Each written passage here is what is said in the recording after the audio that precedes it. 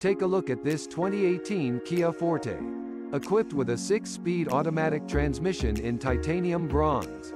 This car comes with some great features including anti-lock brakes, traction control, brake assist, child safety locks and more. Come in and check it out today.